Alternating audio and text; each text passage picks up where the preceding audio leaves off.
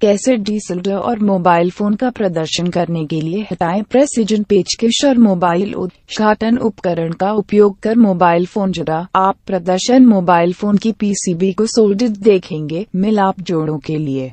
प्रवाह को लागू करें। टांका लगाने का यंत्र का उपयोग करना।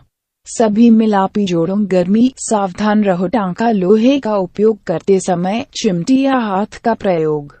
धीरे प्रदर्शन को बाहर खींचे, एक बार मिलाप पिघलने शुरू होता है। डिजोल्डरिंग तार और टांका लगाने का यंत्र का उपयोग करना।